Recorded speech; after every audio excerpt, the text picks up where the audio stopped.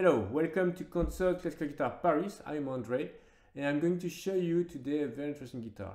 As you know, we are looking for uh, very good guitars, of course, uh, to fill all the needs of the concert players. And we have today a guitar which is uh, quite impressive, coming from Italy. And that's a guitar from uh, Rinaldo Vacca.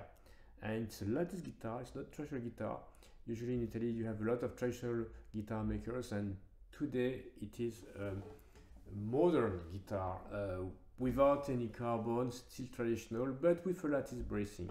The guitar has a nice setup top, it's a very modern uh, design.